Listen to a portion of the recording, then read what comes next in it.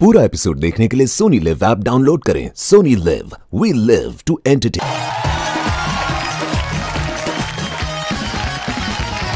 कुछ लोग ऐसे अमृतसर में हमारे बोलते थे।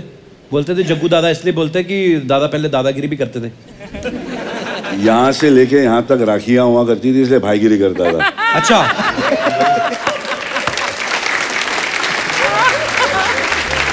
सबके नसीब में तेरे जैसा लड़का नहीं होता था।